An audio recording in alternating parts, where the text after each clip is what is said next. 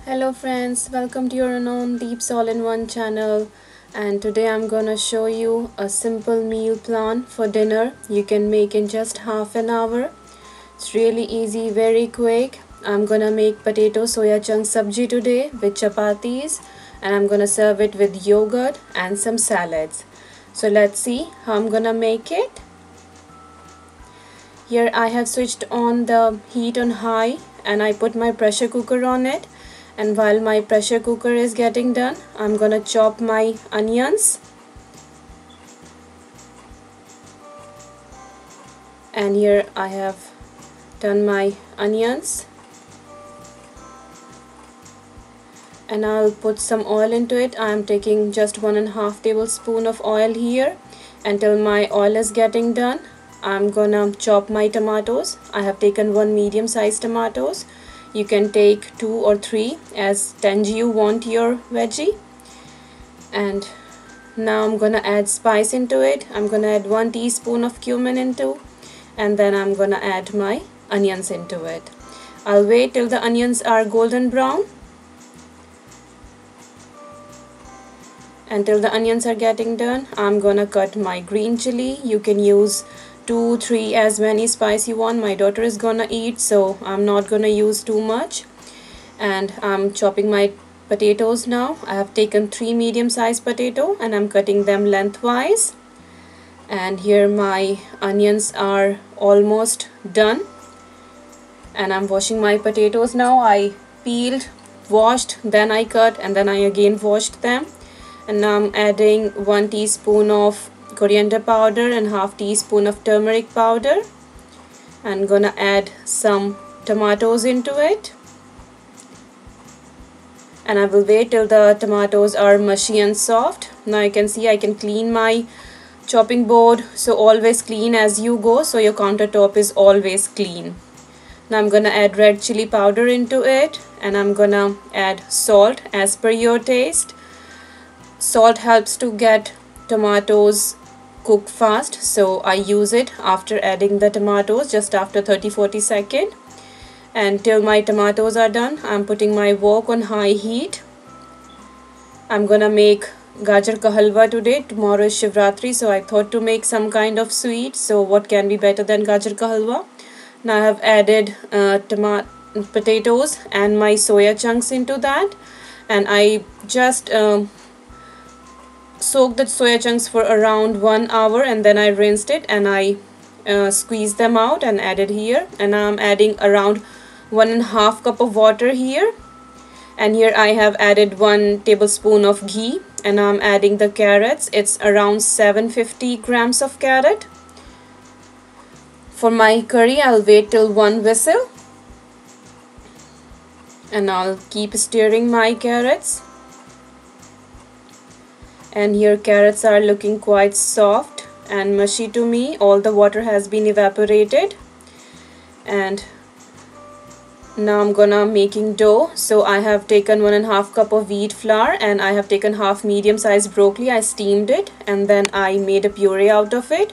Sorry for the camera direction you can't see me properly. So just wheat flour broccoli puree some salt as per your taste and uh, some cumin powder if you like it. And here one whistle has come so I have switched off the flame now. Sorry I have done the sim on heat on the sim.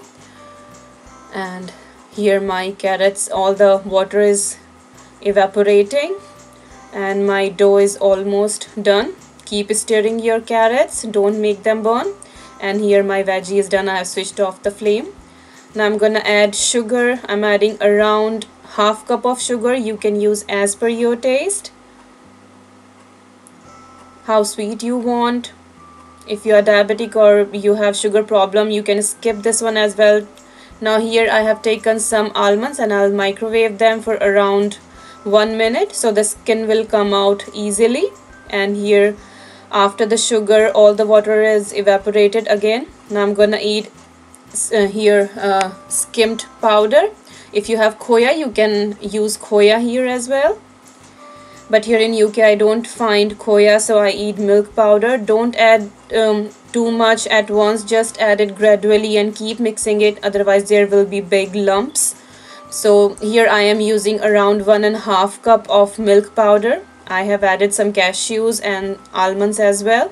If you want you can add some raisins but I don't like raisins in my halwa. I like the crunch of almonds and the cashews in halwa.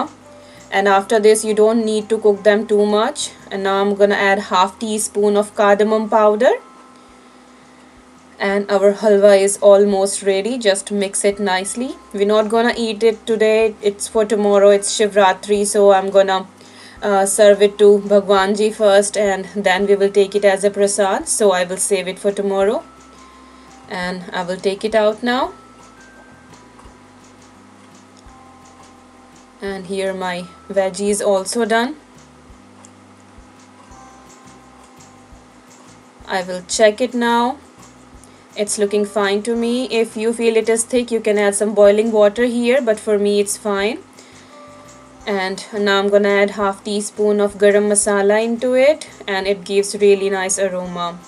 Now I'll keep it aside and I'll start making my chapatis here I have taken medium sized bowl and I'll start rolling it I have kept tawa on high heat and put some ghee there I always put ghee on my rotis. It is really good for kids. बच्चों को घी की रोटी ज़रूर खिलाएं उनके अच्छे development के लिए बहुत ज़रूरी है Now I'll wait till the roti is halfway done and then I will flip it over and I will wait till there the brown spots on the other side and then I will just put it on direct heat and you can see my roti is all puffed up.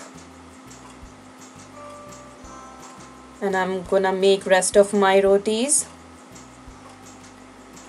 By this one and a half cup of flour I'm gonna make around 12 to 13 rotis. It is enough for three people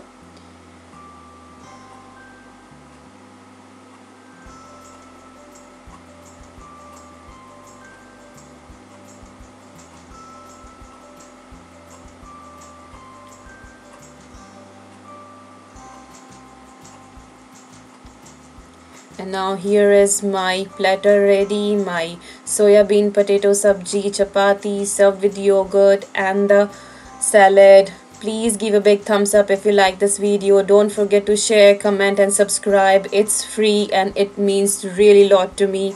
This is protein packed dinner. Try it out. If you don't eat any kind of meat you are vegetarian then it is for you. Try it out. Thank you so much for watching